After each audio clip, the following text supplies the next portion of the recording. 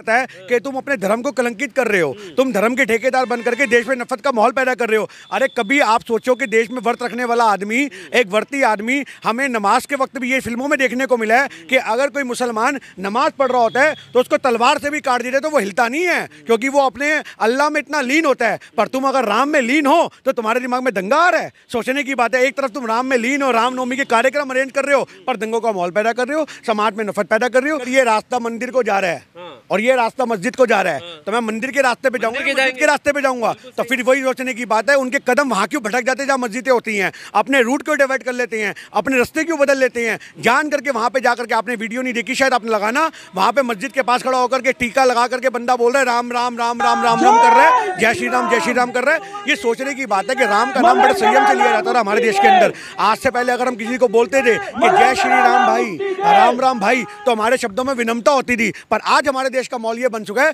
कि जय Shri Ram. That mean के गले की जो नस्सें होती हैं, उसको भी लोग फाड़ने में उतारू हो चुके हैं। तो बियर की बोतलें मारी गई थी मस्जिद के ऊपर, आप समझो इस बात को।